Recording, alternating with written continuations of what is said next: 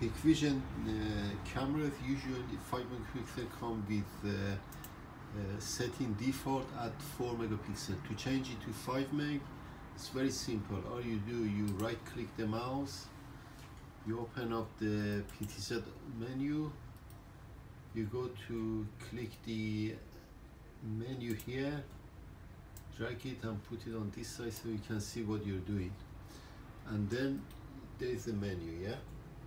All you do with the mouse on right click uh, the button for 2 megapixel you can scroll it through 5 megapixel there you go. That's 5 megapixel option.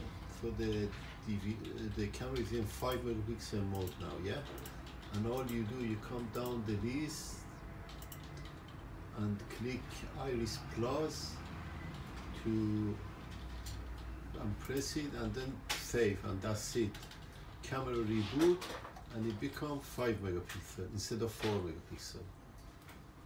It's that simple simply done.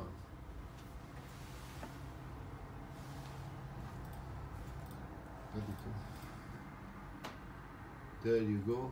It's set at 5 megapixel. There you go. 5 megapixel thank you